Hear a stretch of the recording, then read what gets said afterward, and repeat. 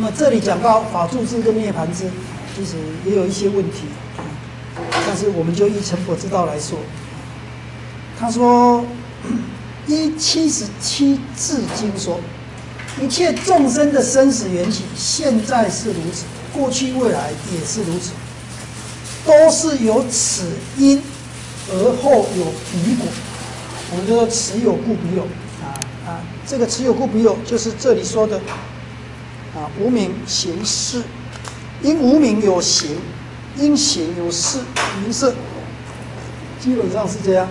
此有故彼有，无名缘形，形缘事，名色啊，六路触受爱取有触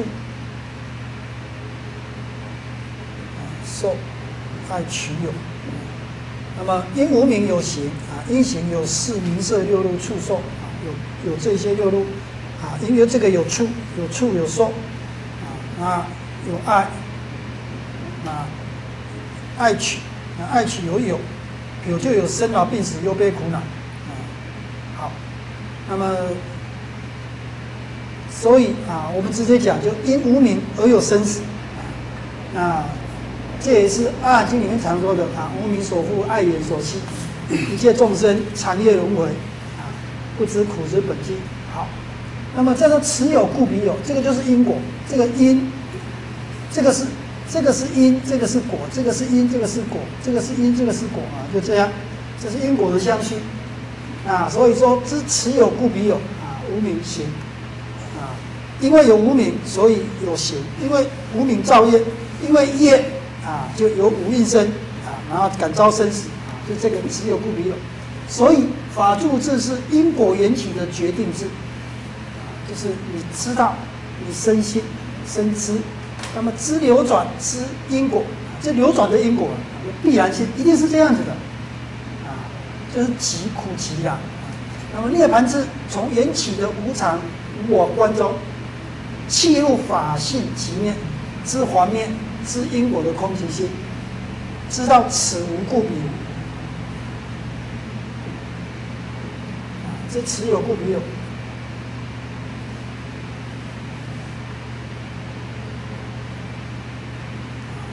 所以无名灭则行灭，行灭则事灭，乃至生老病死、多悲苦恼灭。好，那所以他这里说到，绝不能离此因而又能有彼果，果必从因生，啊这是法住之。当然，我们现在说这个是成佛之道的说法啊。那么，所以法住这是对于因果缘起的决定之。这虽然是缘起如幻的俗数俗数法，啊，那俗数就是世俗假安利的啊世俗地，一般我们叫做世俗地啊圣义地，啊不，所以这个如果从这样来看，先知法治，后知涅槃，也可以说啊就是龙树说的皈依世俗地不得第一，啊，所以啊。这个实数法就是世俗地啊，那是假名安利性的。说如果你不能理解缘起的世俗相对性、假名安利性，而只是信解善恶业报三思，这个是世间正见，那么这个还不能叫做智，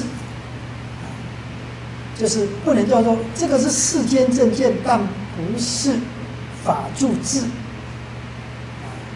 那但却是正见得到必变的必备的知见啊，所以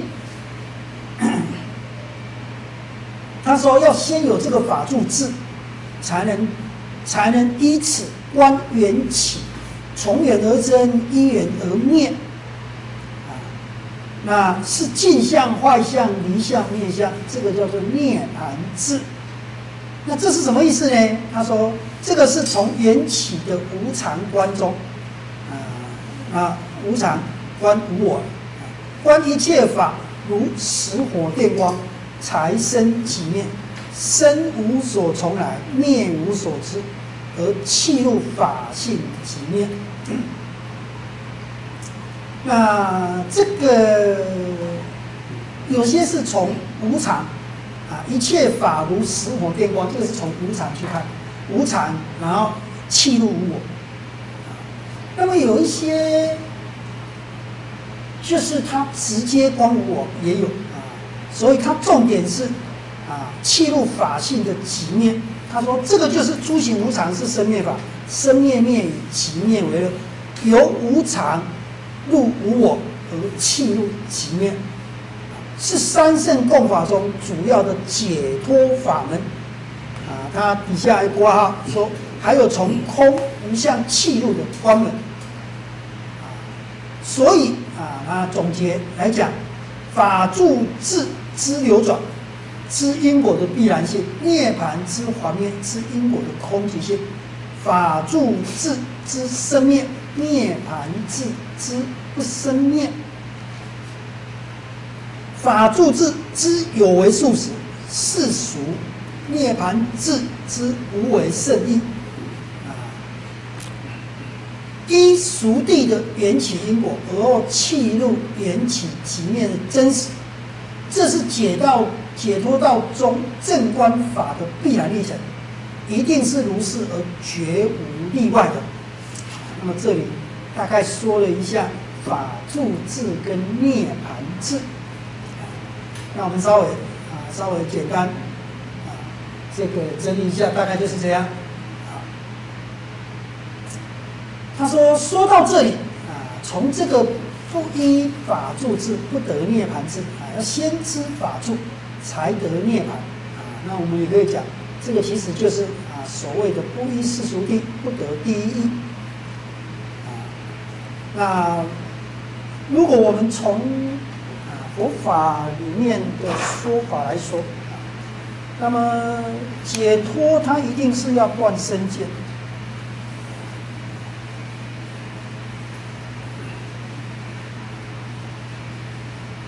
那么所有的解脱者阿罗汉啊，不管是出果、二果、三果、四果啊，那么一定是都是断身见，主要是断。断这个分别我见跟具身我见的差别，那么断身见它一定是所谓的正无我，所谓的正一定是正无我。那我就是五蕴啊，我们简单这样讲，色受想行识。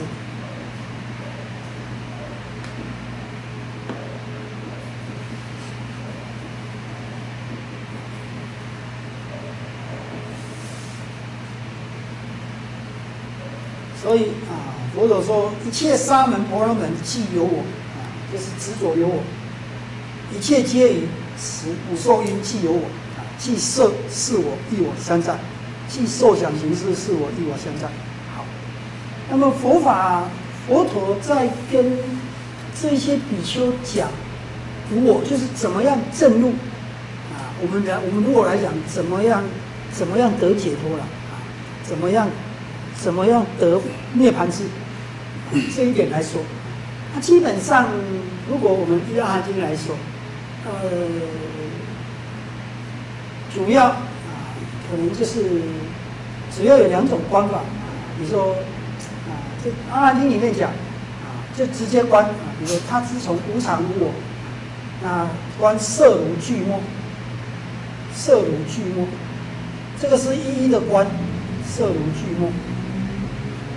受受如水泡，其实就是从这里所谓的观有无常无我啊，这里啊，他导师讲实火电光啊，但是他有一个直接这样观的，就是一分别观跟总观的啊。那么想如阳焰，阳焰就是海市蜃楼，虚幻不实。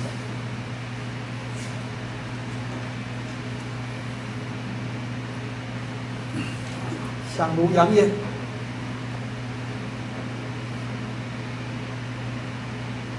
杨烟是海市蜃楼啊，你说叫野马啊，你说叫可怒啊，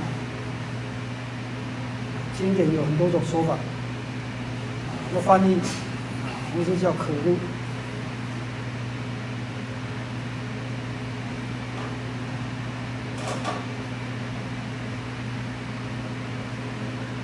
啊，形如芭蕉，啊，他现在来观五蕴。其实解脱一定要正无我，断生间，啊，啊，视如幻境，这是一种，这是一种观法。啊，另外一种观法是观五蕴色受想行识，啊，五蕴啊一样，这色受想行识都一样，这个是分别不一样，啊，色如聚沫，形受如水泡，啊，形如想如两面，形如芭蕉，视如弯弯。另外一种是都一样，啊，色受想行识都一样，色受想行识都一样啊就是，色说我们应该是这样讲，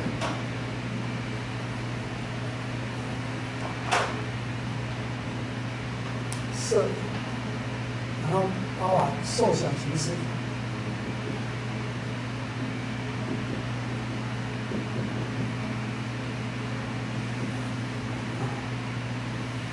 所有想行识，若过去，若未来，若现在，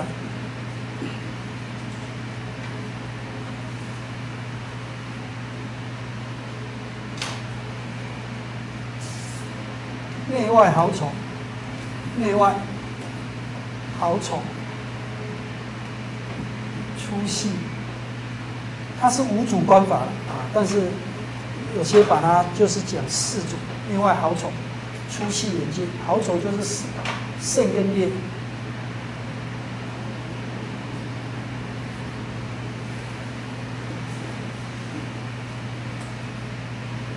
粗细眼睛，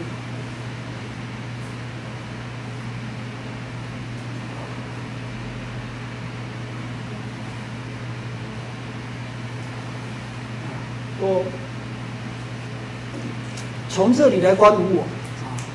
啊，基本上，啊，它一定是，但是因为我们的生死，这个五蕴生，这个我五蕴，五蕴，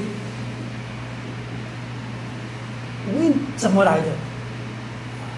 就是这个生死到底怎么来的？就又回到回到所谓的缘起，有因有缘世间起，这个五蕴世间。又回到有因有缘世间起，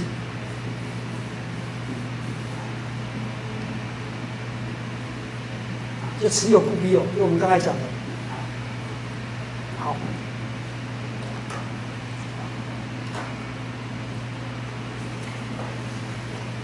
那么法住智跟涅盘智讲完。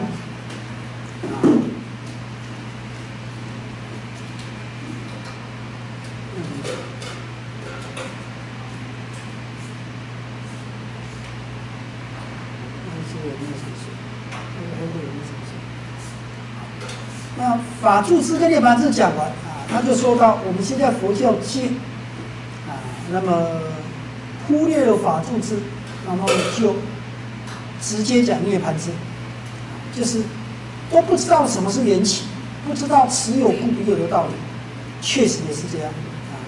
那么明清以后，大概流行的就是禅宗跟净土宗。那么即使明清以前。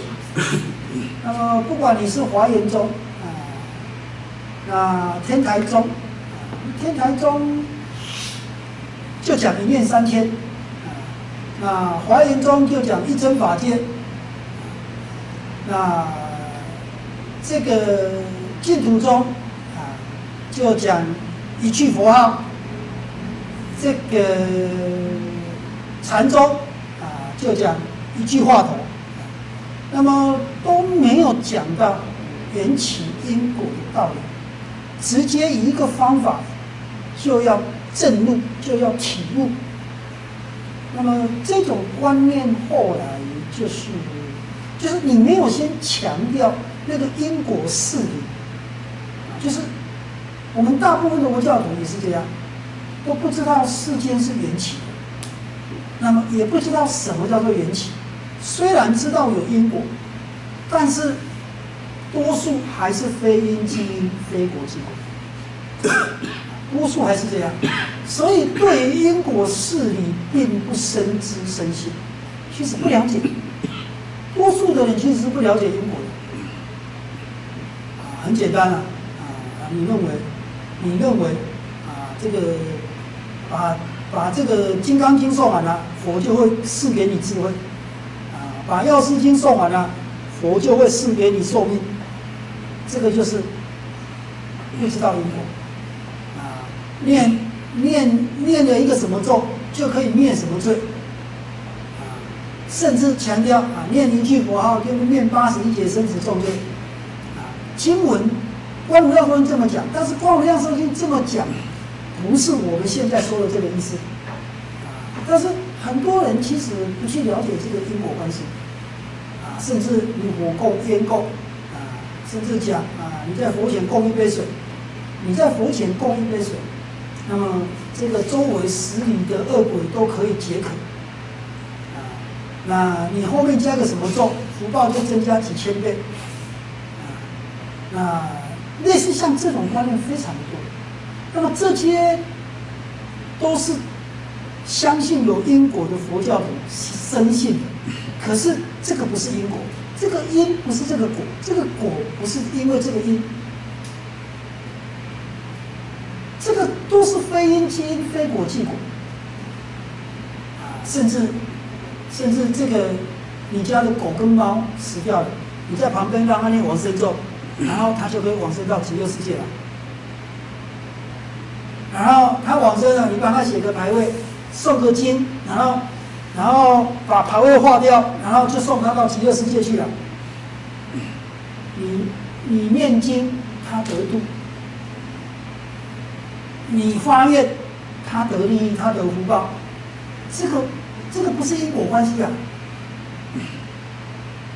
还不用讲到无名缘行行缘事，那还不用讲到这个，所以很多人不理解这个缘起因果，缘起一定是有因有缘世间起，一定是此有故彼有，此故彼的关系，那么它不是，我们也虽然也讲因果啊，比如说我们诵经，诵经然后。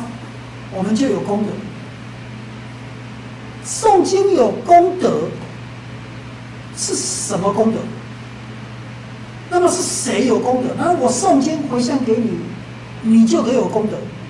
那因果关系不是这样说的，但是这个都是相信因果的人认为是有的，所以我们的因果其实不是佛说的因果。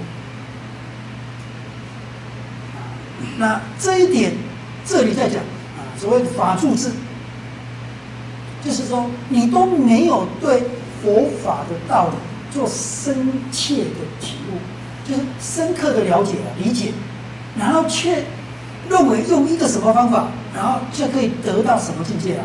好，那现在来看，他说说到这里，觉得佛教中没有一种错误的倾向啊。老师那个时候有，现在也是有，而且非常的多，啊，甚至啊更更离谱的啊，就是烧往生钱啊，烧钱，还有烧往生钱，还有烧莲花的。我记得不知道几年前，好像是谁在庙，谁在卖那个莲花，就是牌位了啊，然后就是往生的莲位，然后你买了之后。你就做那一朵莲花啊，到极乐世界，就不知道是谁，就认认为还有一个盖往生被，然后他就依着这个可以往生。那这种其实都是不了解，老实讲不不了解佛法的因果事。那所以他说，佛教界有一种错误的倾向，什么呢？啊，就是不求法住智，但求涅槃智，都不晓得。都没有去找那个苦因，就要解决那个苦果了。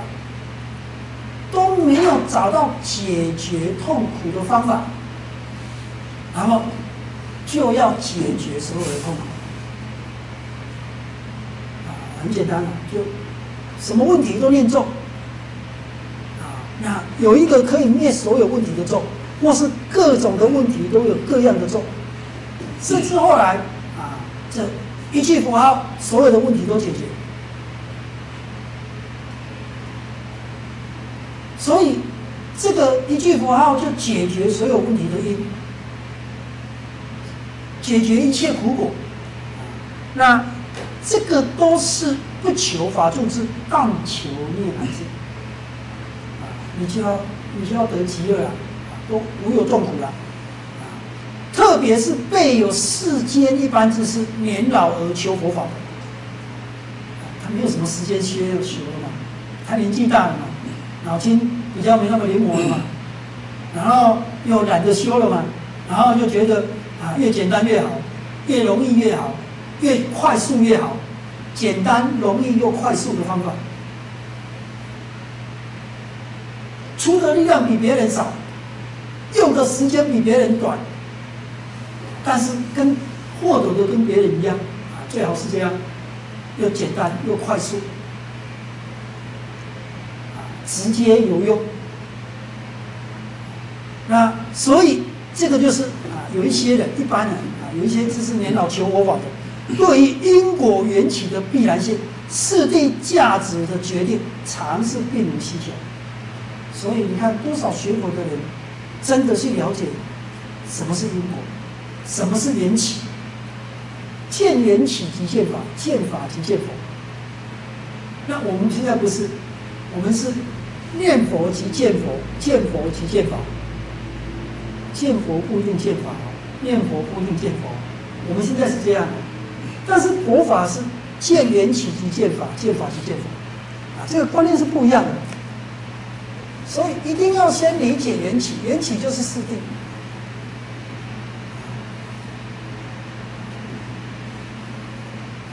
一个是横的说明，一个是纵的说明。见缘起即见法，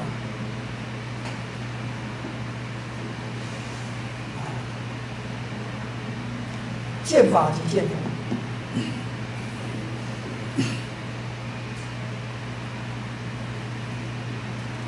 见佛不是见佛的三十二相、八十种好相好，不是见佛之所以为佛，就是觉悟，就是与佛同证的。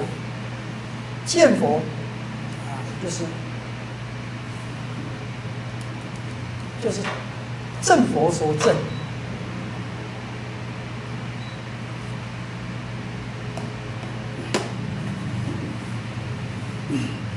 觉佛所觉，觉悟佛所觉悟的，佛所觉悟的是什么？就是缘起啊。佛在菩提树下到底看到什么？看到流星吗？看到流星会成佛吗？看到流星不会成佛。只是流星划过的时候，他在那一刹那见法见缘起，啊，所以叫做睹流星的悟道，并不是看到流星就可以见法，不是这样，啊，所以觉佛所觉。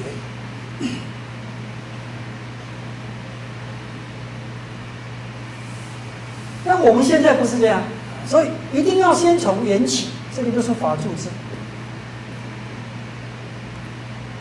了解缘起因果的事。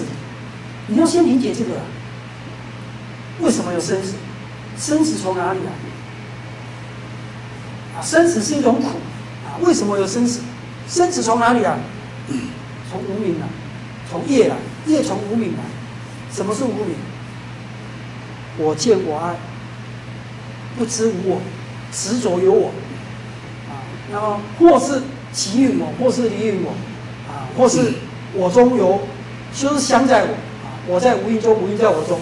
那么你有这一些错误的观念，以至于你执取而而得有这个我见我爱，有自己爱，有境界爱，然后才造业流感招感生死。那我们现在是不是这样啊？念佛、见佛，然后就怎么样，就成佛了。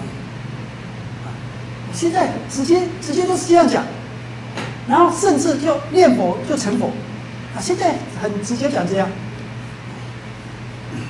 啊，当然念佛见佛，啊，然后成佛，但是佛法其实不是这样，佛法如果讲念佛，念佛是六念法门的一个，念佛念法念身念思念戒念天，在极乐世界大家也念佛啊，念佛念法念身啊，是。念佛。如果在《阿含经》里面念佛，啊，念佛深处，念佛就是得到处，念佛涅盘处，念佛转法轮处，啊，然后这个是念佛，啊，那现在我们我们说的念佛，啊，念佛是念佛名啊，啊，佛的名号，但是佛的名号也没有错，佛的名号其实名以昭德。但是我们，我们把那个德忘记了，就是佛为什么？佛为什么称为佛？佛佛陀是觉悟者，所以是这个觉啊。那我们变成念佛的名号了。那其实，其实这个是后来越来越变，越来越变，越越越没了，越支没了。啊，那一般来讲是念佛的功德。啊，那因为名号代表的就是功德。其实是这样子的，啊，那这个念是意念、心念、心念之在知，啊，要跟佛学习。那《阿含经》里面它是这样子的，啊，就念佛深处，念佛成道处，念念佛成道处，然后念佛转法轮处。念佛涅槃处，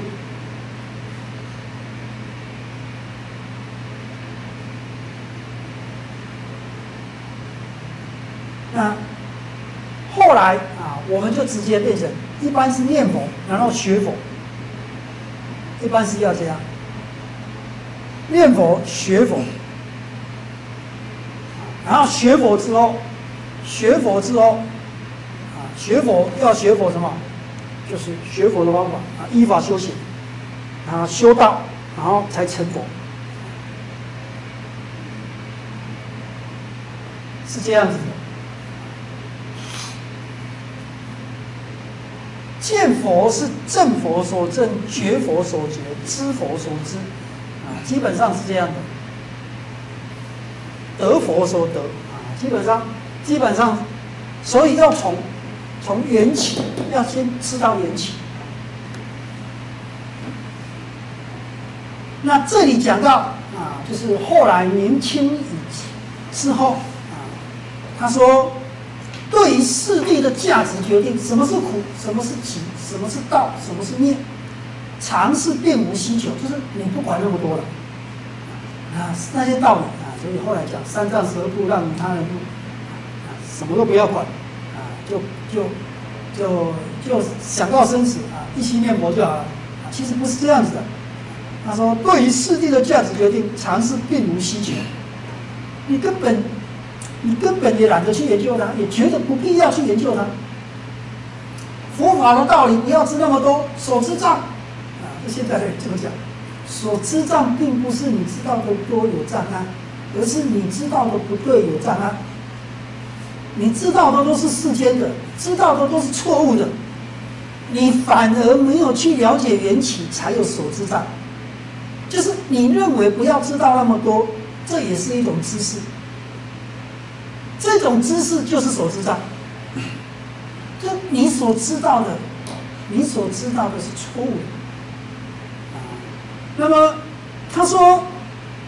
有的以为这早已都知道，早都已经知道，而不知道梦都没梦想过，就是连梦都没梦见过，平常没在想。这没有很多人，很多佛教徒没有缘起的观念，不知道什么是缘起，不知道什么是四定，真的不知道。然后你说什么是四谛，他也许会讲苦集灭道。你再问他，那什么是苦，什么是集？那你如果问他缘起，那多数的是不知道的。多数是不知道，那你说什么是道？什么是苦？什么是集？很多人还是不知道。苦因是什么？那业，苦因是业，那业有哪几种？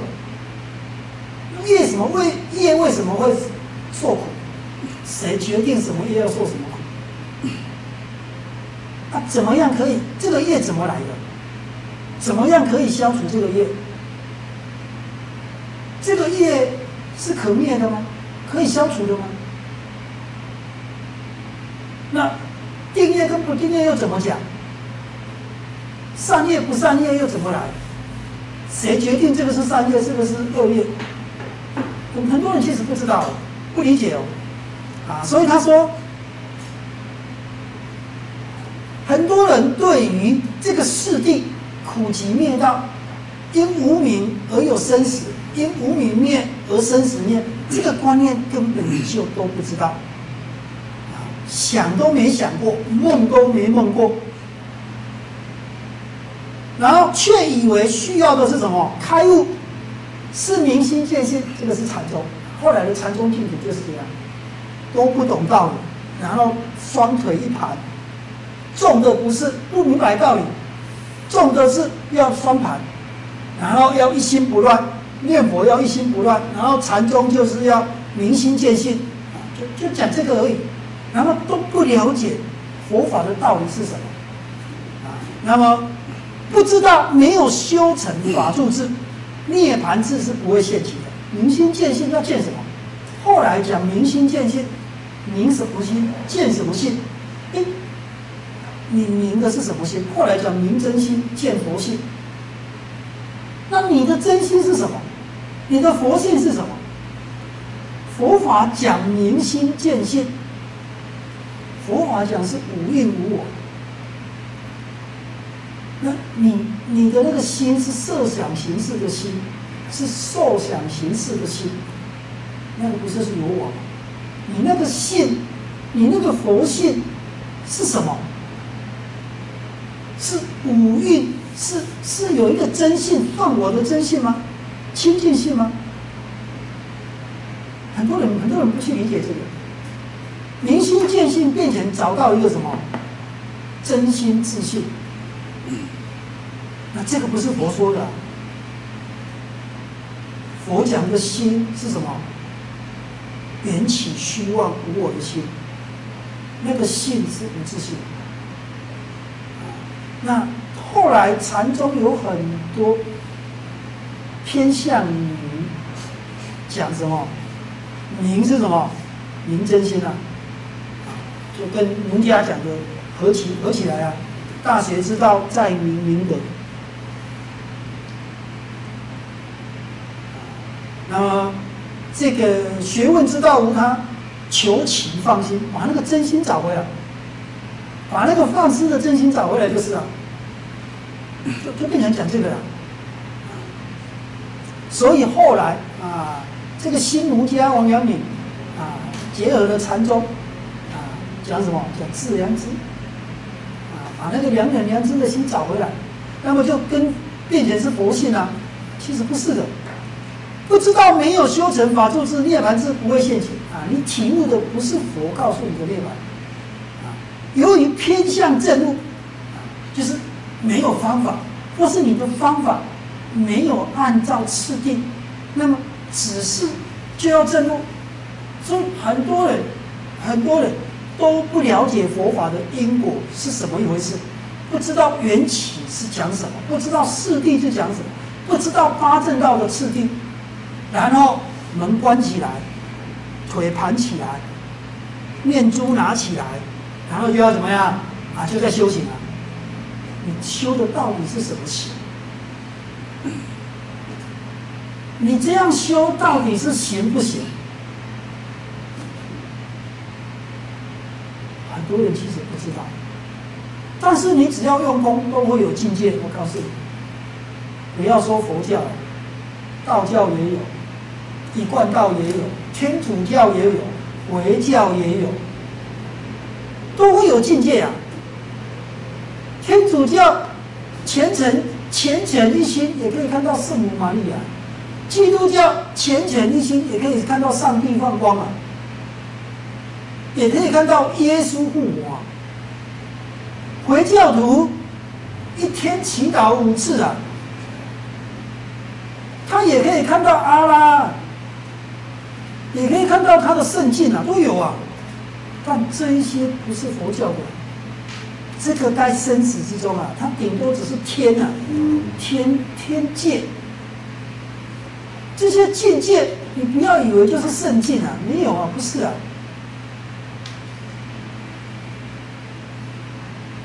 他不是见到见到佛、见到光、见到莲花、见到殊胜的境界，是见到什么？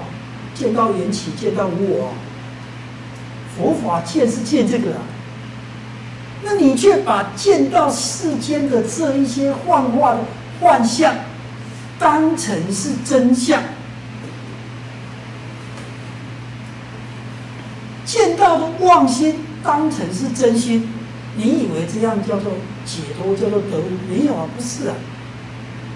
现在有很多这种，所以啊，偏向正路啊，我们也有很多啊。很多一这个都都不知道，都不了解佛法到底是怎么一回事，然后就闭关了。我告诉你，你只要用功，都会有境界，真的。用功都会有境界。啊，一下子又梦见地藏菩萨来找你啊，一下一下子又看到观音菩萨放光了，一下子看到普贤菩萨骑六白象了。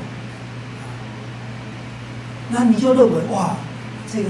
因为我用功，有这些殊胜的境界，佛菩萨加持我，我肯定是开悟了。我告诉你，不是啊，真的啊。所以一开口一下手，似乎非说心说性，谈修谈正不可。于是，于是乎失去了悟入的必要过程，空谈。些心性空有理事，弄得内外也不变了。就是你在外向上直取了。那么过去的大德们就有错认定盘心，定盘心是人家那个秤哦，那个那个平衡的那个那个那个准心啊，那个叫定盘心，以为。孔颜乐处，这个是宋明理学。宋朝跟明朝啊，就是佛教从唐朝之后开始衰败。那么宋元理学复兴，就是儒家复兴。那么把佛法跟儒家结合，啊，那讲就是宋明理学啊，像王阳明这一类的。那么以为孔颜乐处，大学明明德，孟子。致良知，就是祖师西来意。那什么是孔颜乐处呢？啊，这个其实是是，我们说这个都是宋明理学里面强调的。孔就是孔子，颜就是颜回。那儒家讲的圣人啊，到颜回以下就没有圣人了，颜回以下就是贤人。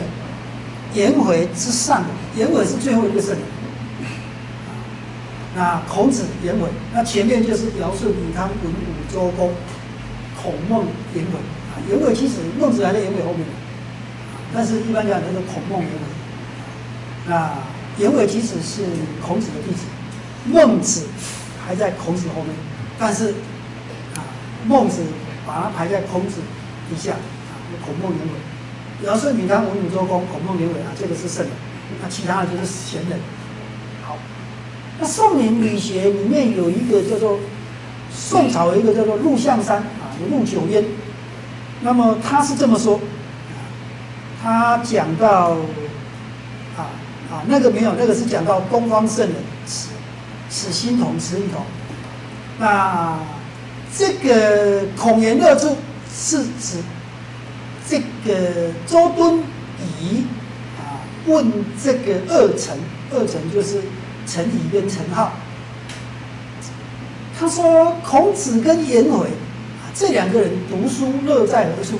啊，我们把这个孔孔颜乐处，孔颜乐处。周敦颐，这个其实是这一般人现在读这个的不多了。所以对这个名词就比较不清楚。而是现代人啊，读这些古代的东西更少了。二陈是陈颐跟陈浩，啊，就是当时理学的这一些主要人物了。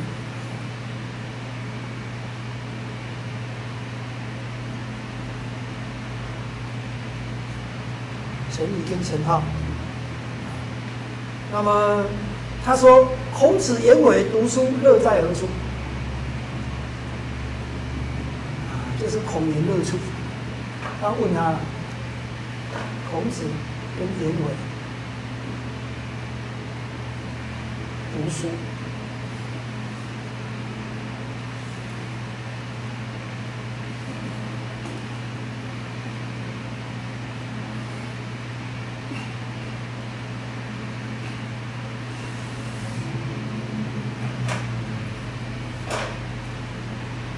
实就是，他们他们懂得这些理，啊，到底有什么有什么功德啊？有什么殊胜？受用在哪里？啊，那他说孔子，孔子跟颜回，孔子是这个饭书时饮水，曲肱而枕之，乐亦在其中。这个是就孔子里面说的啊，他说饭疏食差不多了啊，其实是饭疏食，吃的简单吃的粗食饭疏食就是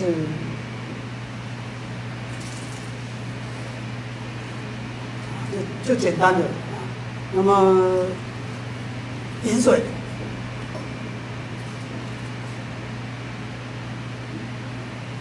屈肱而枕之，就把把这个手当枕头了，就是其实就是吃的、喝的、住的啊，基本上是简单的，屈肱而枕之，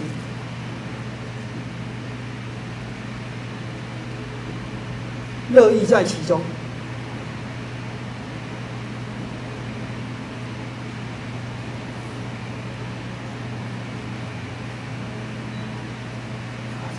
读书乐乐乐在哪里？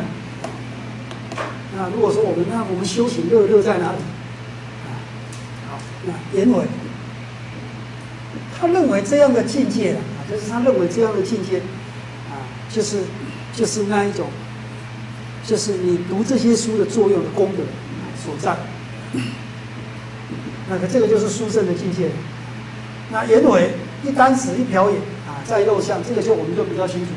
因为一箪食，一瓢饮，在肉相，人不堪其忧，我也不改其乐。一箪食，啊，这个吃的也很简单，啊，一瓢饮，啊，其实是差不多了。一瓢饮，跟孔子的讲的差不多一样。居肉相，人不堪其忧，我也不改其乐。啊，所以我们就有背那个，又比较没有背。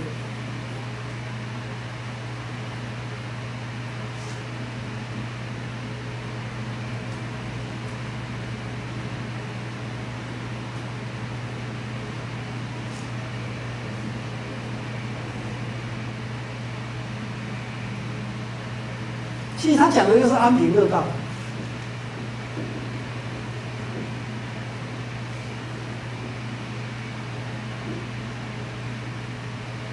那么这个就是什么？孔颜乐处啊，一般我们说孔颜乐处，孔子跟颜回其实就是儒家的啦，儒家的修行的一个一个一个心态一个态度啊，他的乐乐乐在其中啊，就是安贫乐道了。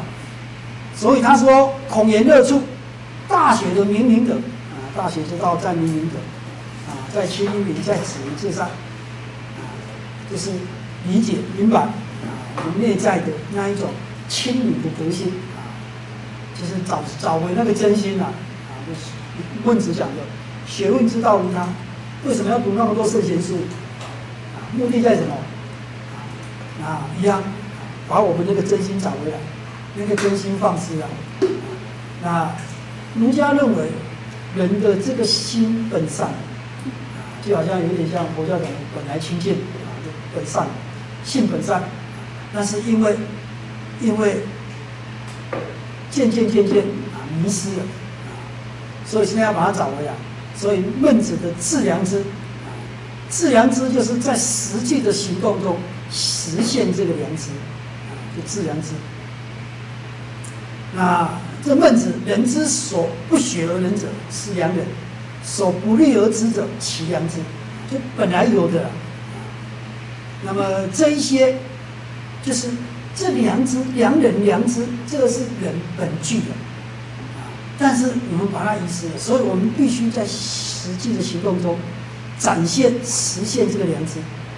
这个是儒家的一个修行方法。那么他说认为这个就是什么？就是祖师西来意。这个是祖师西来意吗？祖师西来意又又分了。祖师祖师是谁？这是禅宗讲的。禅宗讲祖师西来意，这个祖师是达摩祖师。那当然从印度来的，从印度来的都可以叫祖师。那这祖师从印度来，就是从西来嘛。那如果玄奘是往西去取经嘛？我们是东方嘛，就中国是东方，印度是西方。从西来到东方，从东方去往西，西天取经。啊，所以印度的祖师来到中国，为的是什么？就这个叫祖师西来意。但是这个是禅宗讲的，是特别指达摩祖师啊。那达摩为什么到中国来？那达摩传的又跟后来又不太一样啊。达摩是以四卷人前一心的，那先不管，就是讲佛教的佛教的道理跟儒家的一不一样，不一样啊，不一样。佛教讲的跟儒家讲的不一样。现在你把它什么，把它混淆了，把它认为佛教讲的其实就是儒家讲的，孔子讲的、孟子讲的，其实就是达摩讲的。其实就是佛陀讲的，我告诉你不一样，不一样。现在也有人这么讲哦，啊，甚至讲到五教其实是一样，啊，你修行修到修到最高见到佛，其实就是上帝，上帝就是阿拉，观音菩萨就是圣母玛利亚，不是啊，这样讲这样讲是邪见，但是也有人这样讲的。啊所以他说，因此有的就高唱东方圣人此心焉，西方圣人此心焉，好像佛儒融通起来，佛教跟儒家可以通了。现在又把五教都通的了。那甚至认为上帝就是佛，佛就是上帝啊，其实不是。这个是顾九焉讲的，东海有圣人。出焉，此心同，此理同；西海有圣人出焉，此心同，此理同。那老师这里讲，简单说，东方圣人此心焉，西方圣人此心焉。啊，意思就是说，他这个是这个也是宋明理解的陆九渊讲的。他说，东海有圣人出焉，有圣人出世，出现在世。啊，他讲的道理，跟西方的圣人讲的道理其实一样的。啊西海有圣人出焉，此心同，此理。他们的心是一样的，他们讲的理是一样的，不一样，不一样啊！啊，所以到了后朝，后来明清以后，都是三教合一啊！啊，儒释道三教合一啊，不一样，不是的。啊，这个讲起来道理。我们可以讲道不同不相为谋，这道理是不一样，方法不一样，发心不一样，结果不一样。啊，好，因为时间到，我们先讲到这里啊，讲到这个佛儒融通起来，后面还会再讲啊。好，啊，大家合掌合相，愿以此功德。愿以此功德，普及于一切，普及于一切。我等与众生，我等与众生，皆共成佛道，皆共成佛道。